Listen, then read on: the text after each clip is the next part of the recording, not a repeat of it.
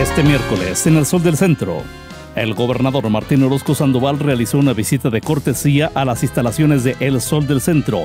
Fue recibido por nuestro director Mario Morale Gaspi, por el gerente Juan José González y dialogó con la plantilla de reporteros de esta casa editorial.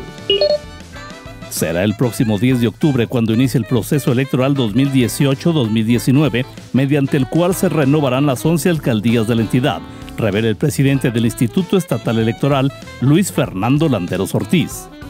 Dirigentes empresariales se duelen de cobros elevados en los recibos de energía eléctrica. Se quejarán ante la Comisión Reguladora de Energía.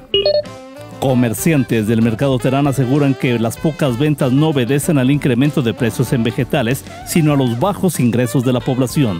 En información policiaca, se salva milagrosamente de morir un joven de 25 años identificado como el Dani, quien fue atacado a balazos en el fraccionamiento Ojo Caliente 3 por sujetos que le dispararon desde un automóvil para luego darse la fuga. En los deportes, el sector deportivo del estado es el más beneficiado con la remodelación de la unidad cuarto centenario.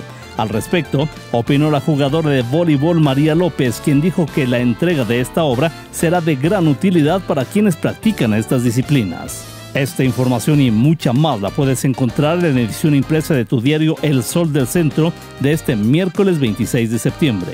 Voz informativa, Mario Luis Ramos Rocha.